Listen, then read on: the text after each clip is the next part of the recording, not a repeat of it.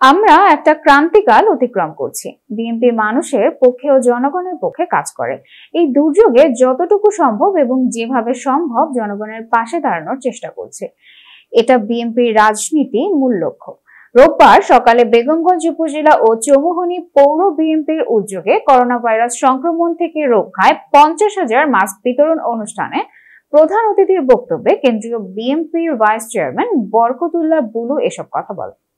এ সময় উপস্থিত ছিলেন বেগমগঞ্জ উপজেলা বিএনপির সভাপতি কামাখ্যা চন্দ্র দাস, সিনিয়র সহসভাপতি মফিজুর রহমান দীপু, সহসভাপতি ওমর শরীফ মোহাম্মদ ইমরান সানিয়াত চৌমুহনী পৌর বিএনপির সাধারণ সম্পাদক মহসিন যুগ্ম সাধারণ সম্পাদক সাজু, উপজেলা যুব দলের সিনিয়র যুগ্ম আহ্বায়ক রুস্তম আলী সহ উপজেলা ও পৌর বিএনপি যুবদল ছাত্রদল অঙ্গ ও সহযোগী সংগঠনের নেতৃবৃন্দরা।